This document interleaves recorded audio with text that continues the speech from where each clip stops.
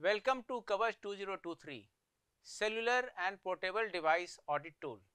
Friends, as you are aware, law enforcement agencies and government departments are required to protect their mobile computing devices including those linked to critical infrastructure against cyber threats from within and outside the network.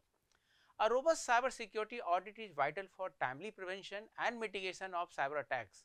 These audit tools help identify vulnerabilities by scanning mobile operating systems, inspecting software applications and analyzing network traffic.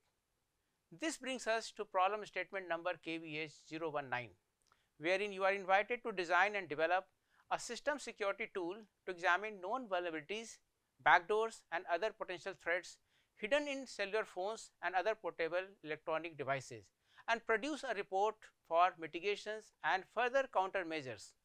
Some off the shelf proprietary solutions are available, but none of these provide efficient and holistic solution for all the challenging requirements and hence it is need of the hour to develop robust indigenous solution as envisioned in Make in India campaign. The system should cater to commonly used mobile operating systems such as Android, iOS, etc.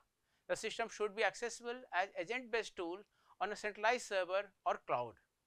The solution should not only audit all embedded hardware supplied by OEM, but also third party integrated hardware.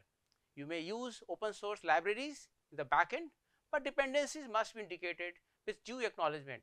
So, friends gear up and use all your knowledge, skills, imagination and develop robust cyber forensic tools for our law enforcement agencies. Thank you and Jai Hind.